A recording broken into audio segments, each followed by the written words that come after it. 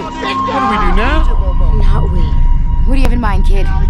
It's about what I need to do. I need to go into the darkness and bring Peanut back. What? No! What, what's she talking